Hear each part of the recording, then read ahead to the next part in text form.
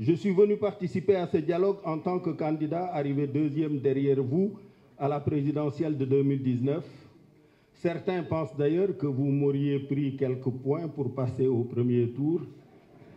Mais aujourd'hui, c'est avec plaisir que je vous en fais cadeau, vu le bilan que vous avez réalisé.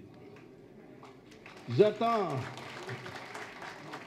de ce dialogue les conclusions suivantes.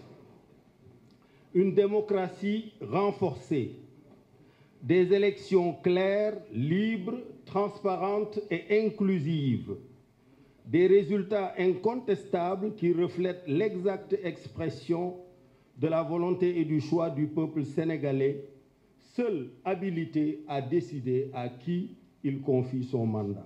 Ce dialogue national, dans cet État du Sénégal, que vous aurez eu, quoi qu'Allah ait prévu pour votre futur, que vous aurez eu déjà l'honneur et l'immense privilège de diriger pour deux mandats consécutifs de 7 et 5 ans.